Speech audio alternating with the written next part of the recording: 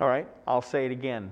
Um, um, uh, welcome to First Baptist Church of Redmond's uh, broadcast. Uh, most of us are sick uh, with the cold or flu, so uh, they um, uh, stayed home. But we're going to have church anyway. Um, we'll be looking at John chapter 1, verses 3 through 5, and um, the sermon title will be Light and Life, because those are the themes. I have a Christmas Bible trivia um, um, video to show you. So without further ado, we'll look at the video.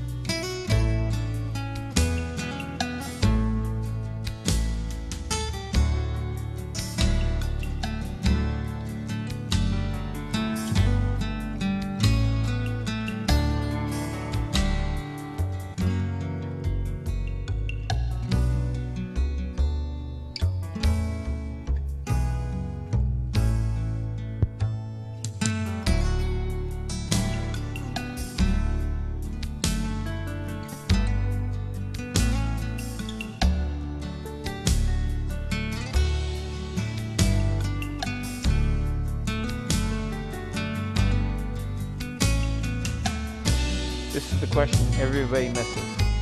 It's army of angels.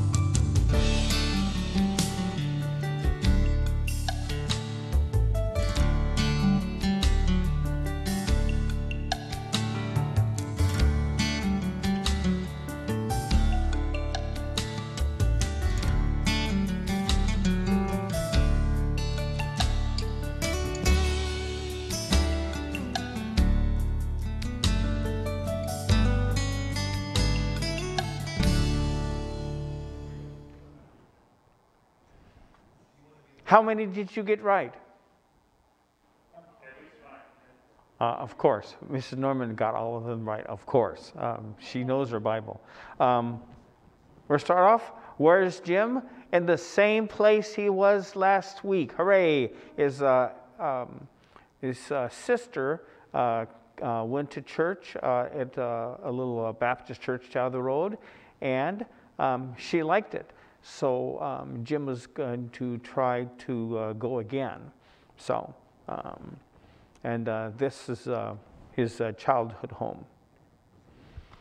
We didn't have Awana last week because of illness, so we're having Awana night night um, uh, this week and December 8th. Um, we didn't finish um, the Bible course yet. Um, we have one more lesson to go. So um, um, uh, be sure to uh, come next week and finish the Bible course uh, that um, will cover Revelation and uh, Bible interpretation uh, ideas, uh, how to study the Bible. But we're going to be doing um, um, Sunday school next. Um, in two weeks, we'll have Life Explored. It's a Rico Tice study, and um, it's a flavor. Seven billion of us.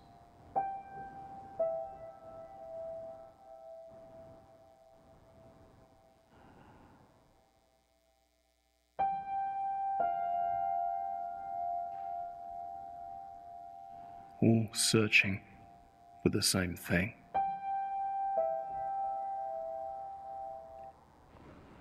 Up that uh, whets your appetite. Um, it's um, about uh, life's challenges. Gilead Advent, what is it? Uh, Gilead Advent is a drive through Christmas experience, as it says. It's December 19th through 20th, and it's at Camp Gilead. Uh, if you make your way up to uh, Camp Gilead, uh, you'll have to get in line because um, uh, it was busy last year, and they're doing the same thing this year. Uh, it's from 5 to 8, three hours and um, uh, you'll get in line with your car and uh, uh, drive through, and they're having uh, different events, different activities. Um, I think they're um, going to try to give you a coffee or a cookie or something. you can have a snack, but there'll be many Christmas experiences, and um, I recommend you come. It's free. you can make a donation um, at the end. But uh, it's December 19th and 20th, um, Sunday and Monday from 5 to 8 p.m. And hooray, who is at the top of the tree? Mrs. Johnston. So um, we um, had a time decorating the church, and um, um many people um, came. And midnight came. She approves. Uh, we hung the cross. And um, we uh, didn't burn the Advent candles uh, this year, but um, um, we have them. And um, we had some up above.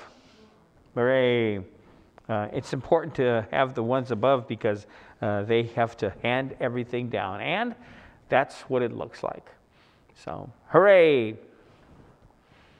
We have a busy calendar this month. Um, this month, um, on the uh, 5th, we are having lunch. Um, it's uh, easy to have lunch. And um, Awana Night Night is the um, theme from um, Awana this week. Uh, we postponed it a week. On December 9th, we're still having Women's Bible Study, yes? December 12th, we're having the Lord's Table next Sunday. Um, I had to um, make a decision because um, uh, my family has a, another uh, set of activities. Um, so, December 19th, we're having the church family service. I would encourage um, you to take a reading. Um, uh, it can be a, a, reading we select, Uh, it could be a Bible reading. Um, you can sing a song or play a song. Um, and I'll have a short uh, challenge from the Bible, but you'll have two Christmases. Christmas Day is December 25th, Saturday. And you'll have a second Christmas because the church Christmas service um, will be the following Sunday, the following Sunday, the 26th. So, would you like? Uh, we've traditionally um, uh, not done Sunday school, but um, we've traditionally done a church breakfast at 10 o'clock. Uh, do you want to uh, have breakfast at 10 o'clock on the 26th? Yeah. Okay, we'll uh, not have Sunday school. Uh, we'll um, start it at um, uh, about 10 o'clock and uh, eat breakfast and um, have um, our Christmas service. Um, I don't have a date for the Korean church to uh, start joining us um, from 2 to 5, but their uh, pastor is supposed to be coming this month. So um, uh, I'll update you and tell you uh, how it goes. Uh, you can use the Tithely app. Uh, we appreciate um, your um, giving to support our church. So you can use the Tithely app. You can write a check. You can give cash or um, anything else. So, uh, without further ado, we'll uh, invite the praise team to join us. Uh, I'd like all of us to stand up for the morning hymn sing.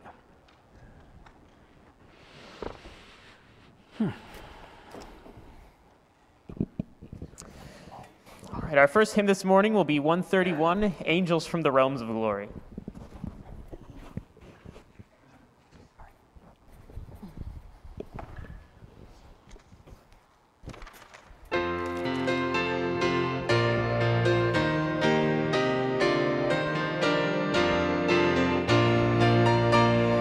Angels from the realms of glory, wing your flight o'er all the Ye who sang creation's story, now proclaim Messiah's birth. Come and worship, come and worship, worship Christ the newborn King. Shepherds in the fields abiding, watching o'er your flocks by night. God with man is residing, yonder shines the infant light. Come and worship, come and worship, worship Christ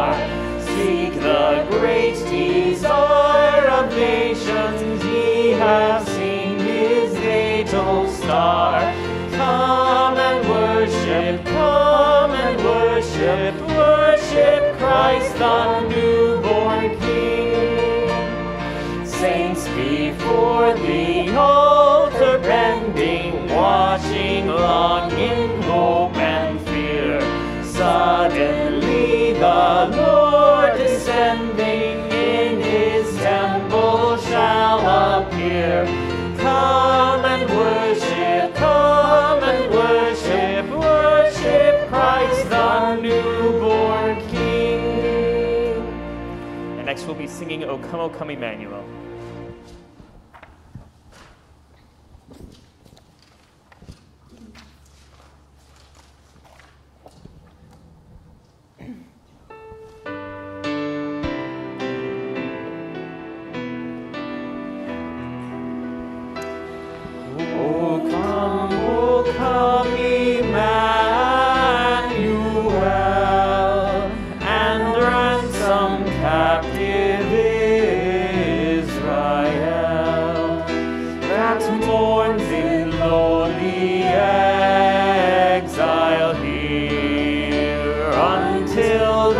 Son of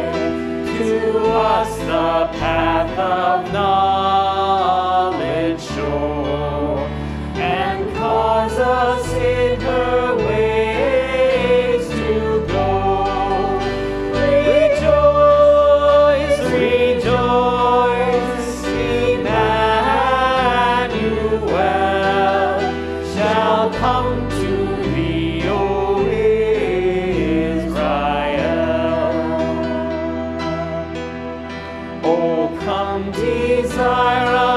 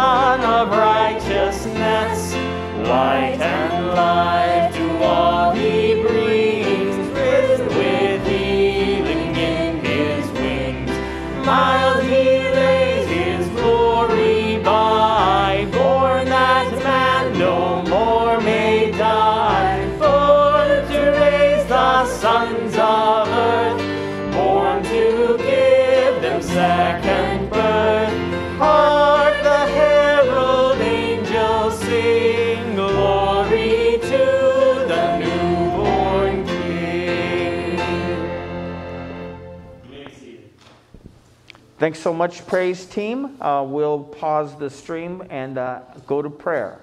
So, uh, do you have anything to pray about?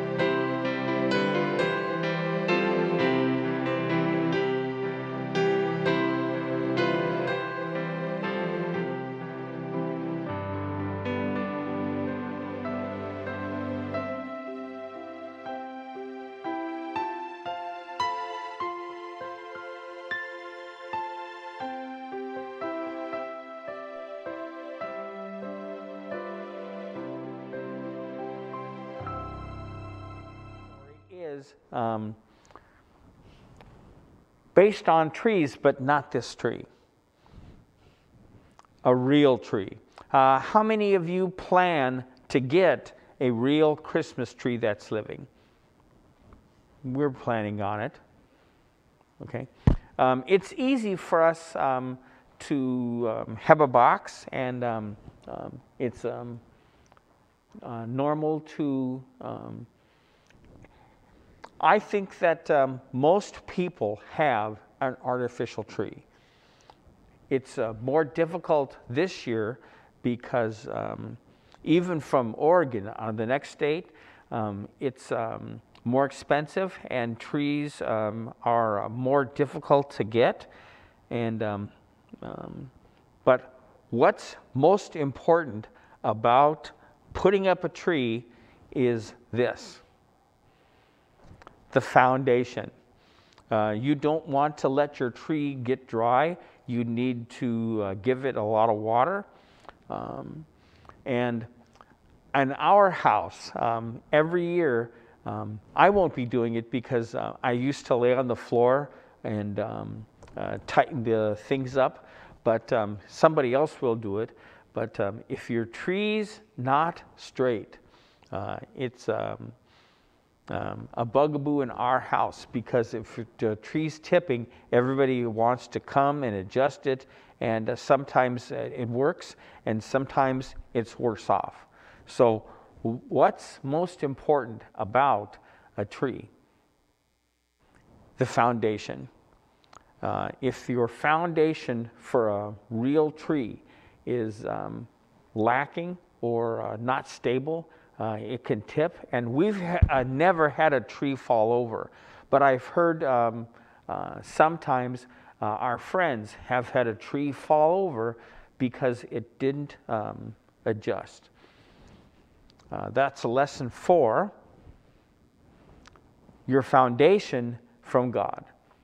Therefore, everyone who hears these words of mine and acts on them will be like a wise man who built his house on the rock. And the rain fell, and the floods came, and the winds blew and slammed against that house. And yet it did not fall for it to be founded on the rock.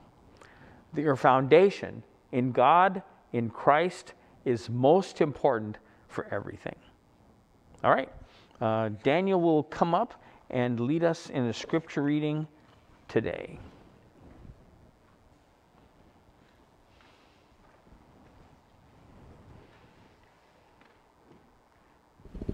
Please rise and join me reading John 1 4 through 5.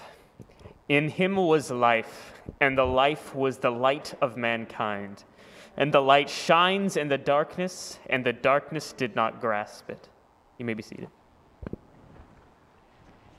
We're only preaching three verses. Um, that's one more verse than last week, but John is um, uh, starting his gospel like he started First John with significant words. So we'll, um, I want to dwell on the significant start of his gospel because it's a Christ honoring and um, it gives a testimony.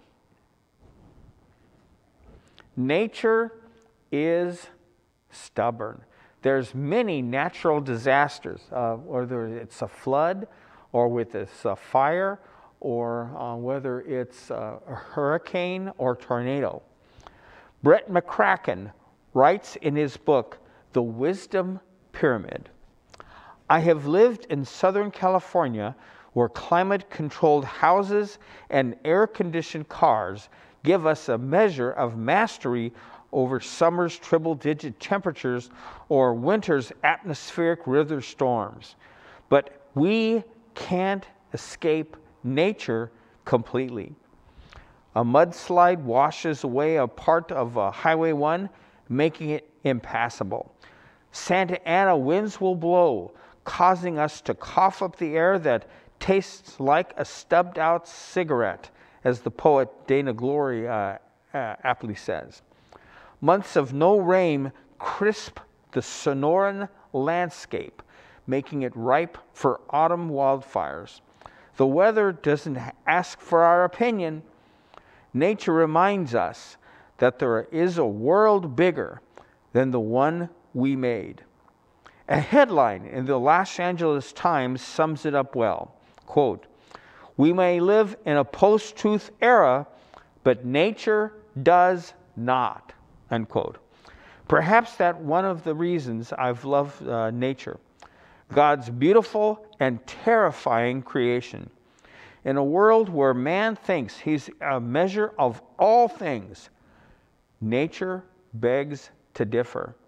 There is a, a genuine um, uh, to nature in a sanity and in a sane world. It is uh, there to sustain our lives, to be enjoyed, but also to challenge us, to put us in our place, and to impart to us wisdom if we are willing to listen. Scripture is our supreme and only fallible source of the knowledge of God. But Scripture itself tells us that wisdom can be found in God's creation in Psalm 19 and Romans 1 19 through 20. Nature's glory is not an end to itself, it's not a God to worship. It's a prism and amplifier of God's glory. It's a theater, a canvas, a cathedral. But God is always at center stage. I'll remind you that um, one of my first views of John was as a philosopher. In his gospel and First John, John makes unique though meaningful statements. He's very observant and thoughtful. Um, I'm going to drink a cup of coffee and change masks for a reason. I can take a drink and be legal. I'm going to change my mask. I've worn this mask once before. And that's what it's talking about. It's an acrostic. The Greek words for um, light and life and zoe. He continues in this vein. Uh, that's one of the first Christian uh, logos, were um, the three letter words for light and life in the Greek language. So they share the um, middle um, letter. John speaks about how Jesus created everything he speaks about how Jesus is the source of life giving light. And it, uh, he explains why the world hates Jesus in these three verses. All things came into being through him, and apart from him, not even one thing came into being that has come into being. Uh, in my sermons, I use the New American Standard Version, uh, that's uh, 2020. Uh, and it's so um, literal, so clear. I'm glad I've chosen to use it because um, the best help for the Greek language is the New American Standard Bible. All things, one by one, came into being through this divine word. Thus, the great truth that Christ created all things uh, for um, in the um, external work, all three persons cooperate uh, Father, Son, and Holy Spirit is first of all stated positively and from the viewpoint of the past, stated negatively and from the viewpoint of the present, it is expressed thus Apart from him, not a single thing that exists came in to being. God the Father delegated to God the Son to be the creator. Two facts here are what's stressed that the Christ himself was not created. He was eternally existing already. Father, Son, and Holy Spirit are individual persons, but one God. That all things, one by one, without any exception, were created by Him. Um, I'm uh, going to use um, some uh, Greek references. Uh, here, the aorist tense is used. Um, it um, is used because creation is stated uh, to be already existing at a point uh, in time. So, boom, God created everything the sun, the moon, the stars, all things were made through him, and without him, nothing was made that was made. Um, that's what it says, and that's precisely what it means. God, God the Son, created everything. In him was life, and the life was the light of mankind. Because life and light are joined uh, by the word was. The preposition has the tone of meaning that life was the light of human beings. Christ brought life, and the life was the light to humanity. Not through him, but in him. Uh, just as in uh, 526, 648, 15, 3, and 1125.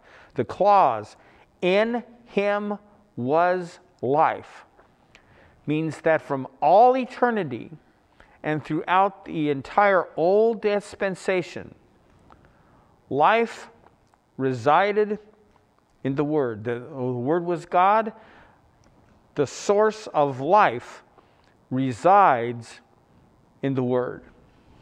Hence, the best reading of the verse um, has was, not is.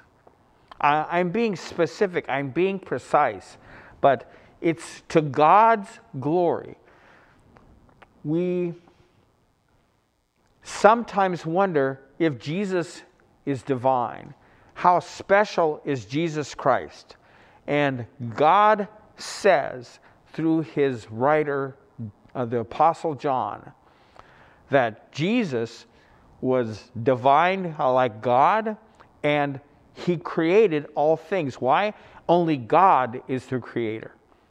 Only God has the uh, power to create out of nothing. And so God said that through Scripture, God the Son created everything. Why? It proves his divinity. But um, what is meant by the term life as used here? Does it uh, refer to every kind of life, physical as well as spiritual? The life of the butterfly as well as of the archangel? The life is characterized as the light of men. The source of where I, um, I'm able to, as an individual, a human, discern what's right. Um, I told you before that um, I've uh, had occasion to uh, walk through the church with the lights off. And uh, half the time, I trip on the pews because I don't see them. It's really dark here uh, at night and um, I've tripped and uh, fallen before. And um, uh, if I don't use my phone to uh, give light, um, it's uh, going to happen half the time. I won't know where I am. God the Son is the source of our truth. God is the source of our truth, the source of what's right, what's wrong, what's true, and what's false. And without God's light, we can't know what to do. The light shines in the darkness and is not appropriated by sinful men. In it was light, and the light was the light of mankind. With reference to this light, the Baptist bears testimony. Um, he's going to, um, uh, in the next sermon, um, refer to there was a man once sent from God, and his name was John. He's not talking about himself, the Apostle John. He's talking about John the Baptizer. He gave testimony.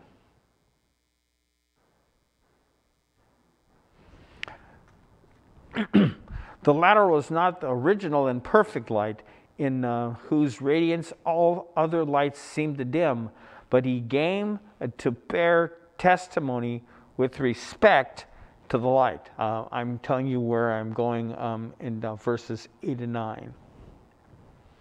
This light is now identified with the one who is rejected by the world but accepted by God's children. It is clear that the terms life and light belong to the spiritual sphere. Uh, that's the emphasis. Moreover, both in the fourth gospel and in the first epistle, the term life always moves in that realm. And uh, it's used 40, uh, 54 times. Um, that's unusual that um, um, life is mentioned that much. But John uh, writes that in him was life and uh, the word of life. So um, he emphasizes clearly that Jesus gives life and Jesus lights our life. Uh, at times it um, is um, interchanged with the expression everlasting life, like uh, John 5, uh, 5.24. When one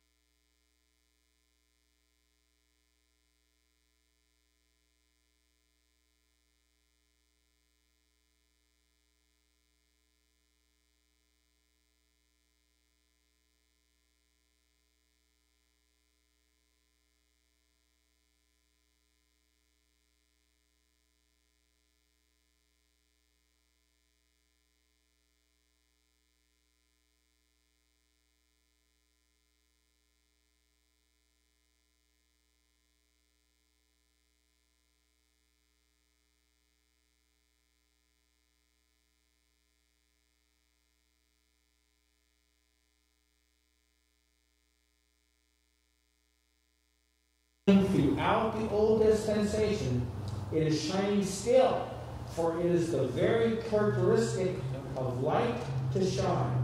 You don't turn on the dark, you turn on the light. Moreover, whereas the word Christ is the one in whom the life resides, and by whom it is made to shine forth as light, he is also himself called the light. From passages such as um, um, John 3.20, um, um, Ephesians uh, 6.12 references it, it is evident that this darkness does not merely behave negatively. On the contrary, the darkness hates the light.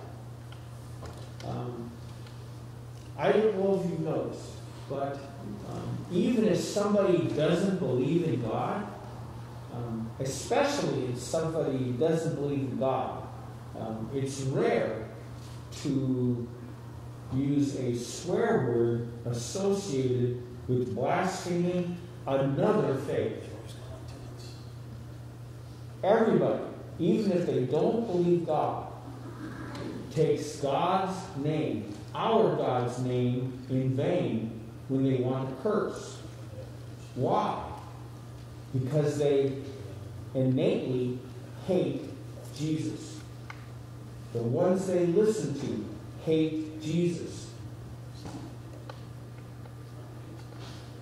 It refers to the world of mankind viewed as a hostile power which actively resists the light and refuses to accept it. What we have here is a manifestation of the absolute antithesis between light and darkness. You're um, in one world or the other. You're in the light or you're not in the light. The kingdom of God and the world. Christ and the forces of the evil one.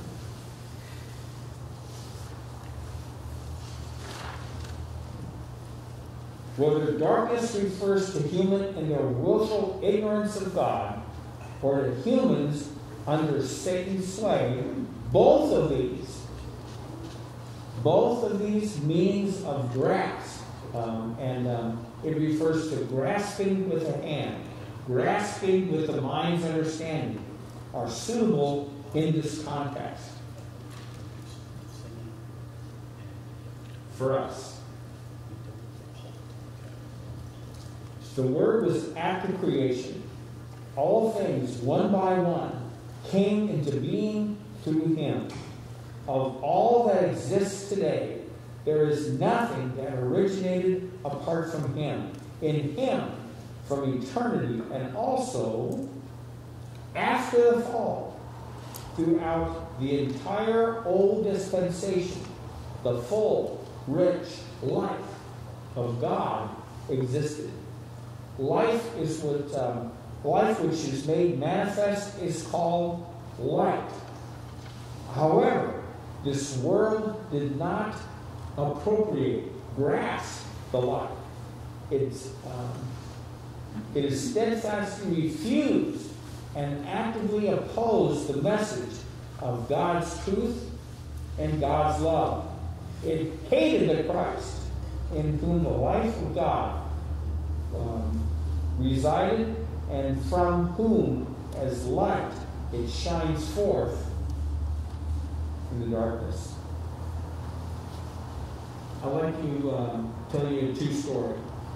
Ryan and Morgan adopted a child from an orphanage in another country. They passed through all the legal processes of that country. Charlie, they named him, was their son. But right before the day when they were supposed to pick up Charlie from the orphanage in another country, things changed. I'm familiar with that era. Um, and I know in Romania and a lot of Eastern European countries, they became to view um, adoption as um, against their countries. There were going to be some political peoples, and the country froze the process. No more children were going to be able to leave that country. Charlie could not come to Ryan Morgan. So they decided to go to him. They flew over from the U.S. and basically camped outside the orphanage. They spent half their time with their son and the other uh, half the time lobbying the courts and meeting with the government officials, pleading them to release their son. After a few weeks, a few weeks transpired, Morgan came home, but Ryan stayed. It was Christmas time. This was not where he wanted to be at Christmas, away from home, far from family. But here was the father who loved his son. Since his son could not come to him, he was going to go to that son, but he was going to fight for that son. There would be more days and weeks of struggle, but wonderfully, Ryan was able to bring Charlie home. That Christmas, as Ryan battled corrupt systems on the other side of the world, he was a picture of the kind of eternal Father that Jesus is for anyone who asks him to be. Jesus went farther from us than Ryan went for his son. He didn't live. Um, he didn't leave a country of privilege to move to a country of poverty. No, he left the riches of heaven to come to a world of pain. He did all that because he loves us. He did all that because he wants to be with us. He came to ensure that we could go to be with him. And it cost him far more than a plane ticket. He died for us.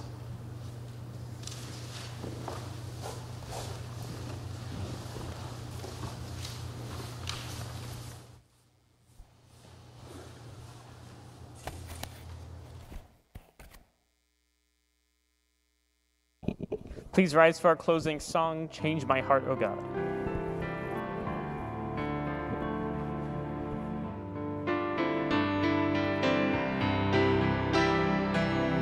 Change my heart, O God,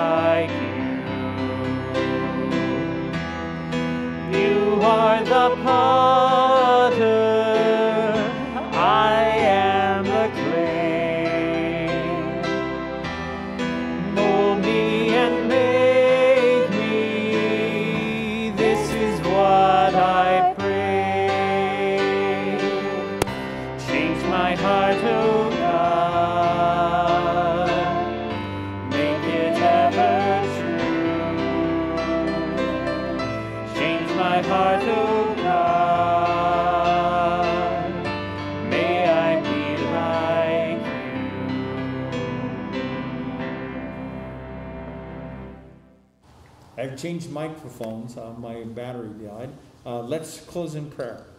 Uh, dear Father, thank you for giving us your Son. He came to live with us. He left heaven and lived as a human being.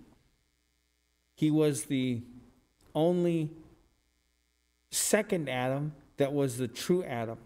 He was the perfect man. Let us learn from him. Let us prepare to see uh, his surprising acts.